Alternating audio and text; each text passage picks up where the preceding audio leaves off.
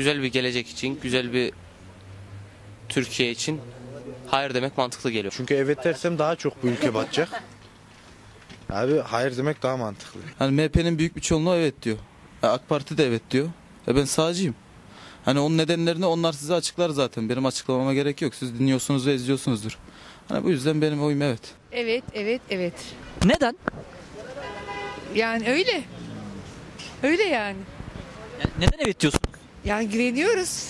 Yani ülkemiz için, geleceğimiz için yani her şey için güveniyoruz. Evet. Hayır diyorum.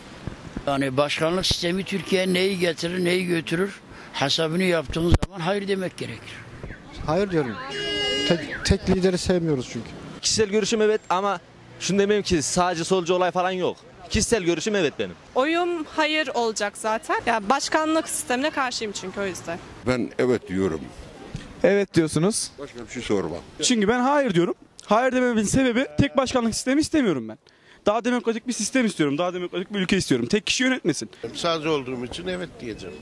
Bu sağcılıkla solculukla bir alakası yok abi ya. Olur mu ya sen şimdi? Abicim bir saniye bu sağcılıkla solculukla alakası yok.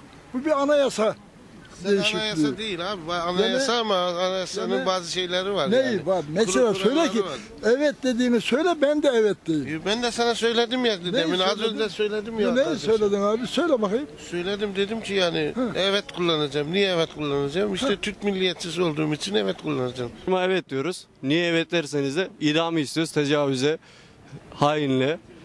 Evet. Peki neden evet diyorsunuz? Evet severiz. Evet güzel yapıyor. Tayyip Erdoğan güzel yapıyor. Ben kendim Vanlıyım. Van'ın Erdiş'teyim. Eyüp Tayyip Erdoğan ben özürlüyüm. %78 raporum var. Bize güzel bir şeyler yapıyor, yapıyor, yapıyor. Azerbaycan ne oldu? Getirdi eşini başkan yardımcısı yaptı. Yarın bunun da yarın oğlunu, kızını veya hani e, tabii ya, ya olursa olsun ben sizin şeyinize görüşmüyorum. Hayda bak. Hayda. Abi peki